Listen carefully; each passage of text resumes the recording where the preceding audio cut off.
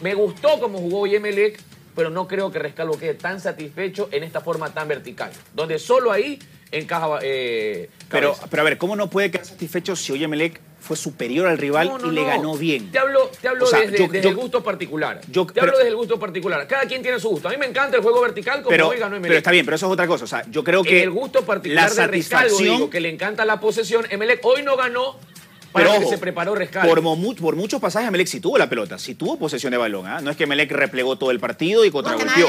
Emelec sí tuvo la pelota, le tocó y, y lo circuló y lo superó bien a, a Católica.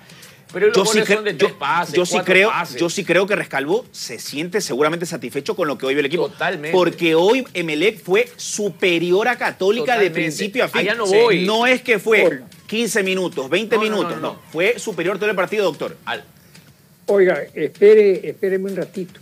Ayer nomás, hace dos meses, nosotros hablábamos, pero ¿por qué lo sacas a Ceballos? Si Ceballos está funcionando, la irregularidad.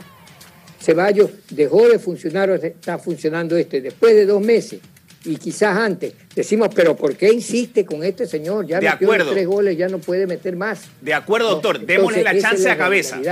Démosle la chance a Cabeza, porque eh, Cabeza yo hoy fue titular en su primer partido, hizo muchísimo más que los otros. Hoy, en su primer partido, ¿ah? hoy arrancó como titular por primera vez en el año. Y siendo titular, hizo más que Ceballos y Zapata. Partido, Entonces, hoy, creo- año. hoy creo al menos que se ganó la posibilidad de mantenerlo otro partido más. Si Y el siguiente partido de, de titular Cabezas no la ve, bueno, Y volver, lo mismo de volverá a Barceló, de Barceló de cumplir otra función.